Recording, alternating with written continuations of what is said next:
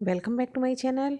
आज हम आपके लिए बहुत ही ज़्यादा इंटरेस्टिंग वीडियो लेके आए हैं।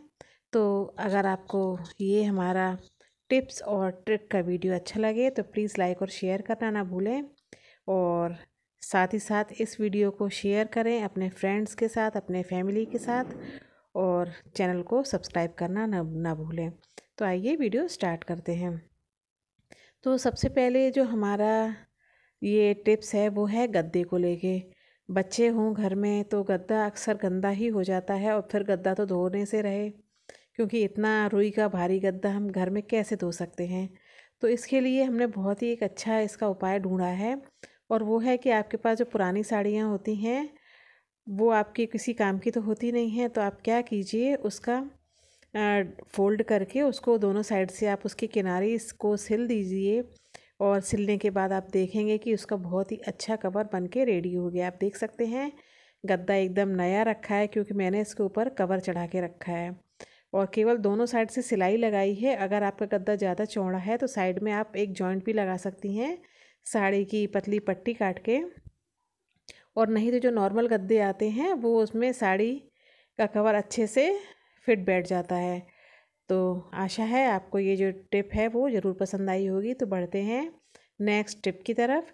इसके बाद हम, आप जानते हैं कि सर्दियाँ हैं, मटर का सीज़न है। तो मटर छीलना बहुत ही मुश्किल काम होता है। तो इसका बहुत ही अच्छा उपाय, तरीके तो बहुत सारे यूट्यूब पे डले हैं कि वॉशिंग मशीन में करो, ये करो, वो करो।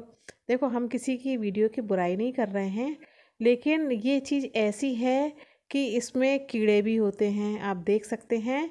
मैंने आपको दिखाया भी है कि इसमें, और ये तो सबको मालूम भी होगा आपको कि जो मटर है, उसमें कई मटर ऐसी होती हैं, उसके अंदर कीड़े भी होते हैं। अगर इसको हम बॉईल करके छीलते हैं या किसी और तरीके से छीलते हैं तो उसके साथ कीड़े का भी डर रहता है कि वो पूरे मटर में मिक्स हो जाएँगे। तो सबसे बेस्ट उपाय है कि जब भी आप फ्री बैठी हों, जैसे फ़ोन पे बात कर रही हैं या टीवी देख रही हैं या आप बच्चे को होमवर्क करा रही हैं या फिर कोई आके आपके पास बैठ गया है तो ऐसे में फ्री बैठे बैठे मटर रख लो आप अपने सामने और आराम से आप अपना काम भी करते जाओ, जैसे होमवर्क कराने का है फ़ोन पे बात करने का है या टीवी देखने का काम है, या आप धूप में वैसे ही फ्री बैठी हो तो इस टाइम आप मटर एक साथ लेके बैठ जाओ और आराम से उसको अच्छे से साफ़ कर लो, क्योंकि मटर को बहुत ध्यान से साफ़ करना पड़ता है, उसमें बहुत, कई मटर में ऐसा होता है कि कीड़े भी निकलते हैं। तो ये मटर छीलना कोई बहुत मुश्किल का काम नहीं, आप देख सकते हैं इसमें कितना बड़ा कीड़ा है। तो ये सब अगर हम एक साथ छीलेंगे या किसी और तरीके से छीलेंगे तो जो कीड़े हैं, वो भी हमारी मटर में मिक्स हो जाएँगे। तो मात्र एक किलो मटर को छीलने में मुझे कम से कम दस से पंद्रह मिनट का टाइम लगा है। तो धूप में बैठे बैठे फ़ोन पे बात करते करते आराम से हमने ये मटर छील ली है। आप इसको पैकेट में बंद करके रख दें और जब भी आपको चाहिए तब इसमें से निकाल के और यूज़ कर लें। तो उसके बाद हमारा जो है, जो टिप्स है वो दाल को लेके है। दाल बनाना, जब हम दाल बनाते हैं तो फिर उसके बाद उसको तड़का लगाने में भी बहुत टाइम लगता है। तो आप क्या करें, जब आप दाल बनने रखें तो उसमें आप टमाटर को इस तरह से साबुत डाल दें। आप चाहें तो काट के भी डाल सकते हैं। और उसके बाद तीन से चार सीटी जब भी आप, जितने भी आपकी सीटी लगती हो, दाल को लगा लें। और जब दाल आपकी अच्छे से बन जाए तो उसको आप इस तरह से मिक्स कर दें टमाटर को दाल में और उसके बाद तड़का लगा दें।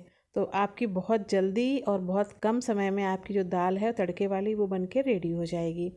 तो आशा है आपको ये जो हमारी टिप है, वो भी पसंद आई होगी।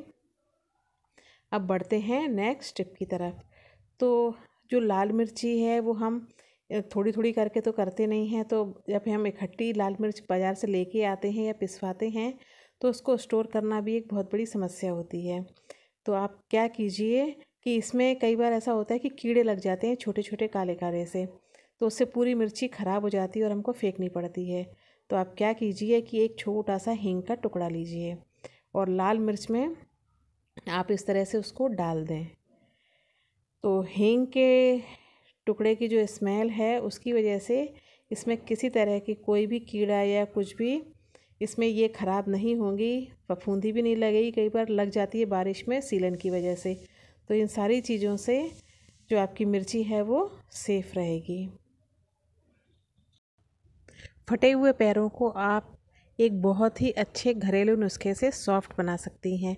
तो आपको क्या करना है, सबसे पहले लेना है थोड़ा सा आटा, उसमें मिलाएँ शहद और थोड़ा सा सिरका यानी विनेगर और तीनों को मिला के अच्छे से पेस्ट बना लें अपने पैरों को साफ़ करके और उसमें ये पेस्ट को आप रगड़ के अच्छे से साफ़ करें।